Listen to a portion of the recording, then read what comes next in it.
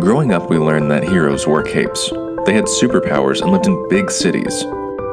We watched as characters such as Superman swept across our screens, wowing audiences worldwide with fluttering capes and huge feats. But Superman doesn't prevent fires. Fictitious characters seldom solve real world problems. So who does? You do. Because you see, not every hero wears a cape, and that is the exact theme of this year's NFPA Fire Prevention Week.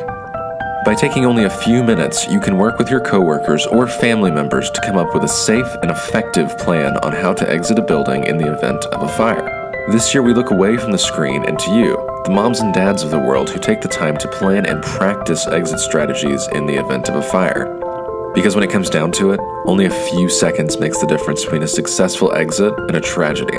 Whether you're at home or the office, you are the hero of the story.